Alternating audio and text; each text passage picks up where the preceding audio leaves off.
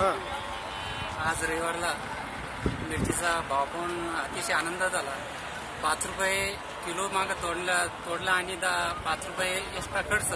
याचा फरक ठेवून आज शेतकऱ्याच्या खिशामध्ये पाच ते सहा रुपयाचा न- मुनाफा कवर आला.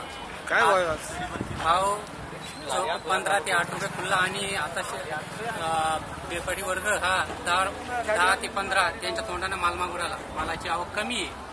त्याच्यामुळं आज तेजीचा माल द्यायची शक्यता असं वाटू राहिलं अजून मला. पण रेट वाढू शकतील का? अजून पण रेट वाढू शकते कारण की पंधरा ते दहा आठ खुललेला भाव आहे आणि सोळा पर्यंत रेट झालेली आहे. पंधरा पावणे सोळा असे रेट बाराशेचे झालेले आहे. तरी आज शेतकऱ्याला अतिशय थोडाफार का म्हणजे सात काल सात- काल हजार रुपये होता ना? काल हजार रुपये होते तर जेमतेम राहिलं. पण आज मुनोफा शेतकऱ्याच्या खिशात शंभर टक्के जाणार. तिथे पंधराची वडा रेंज अशीच राहावं असं माझं मत आहे.